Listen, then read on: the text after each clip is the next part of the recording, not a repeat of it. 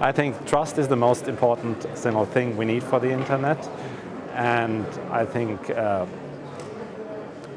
the IGF and uh, and and top and events like this help to create that trust because only when the stakeholders talk to each other you can build trust.